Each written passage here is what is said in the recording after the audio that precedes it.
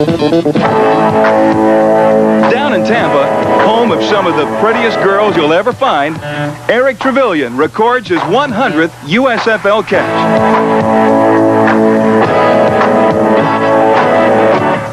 The winless Oakland Invaders go down for the seventh time this year. And Tampa Bay notches its first shutout ever.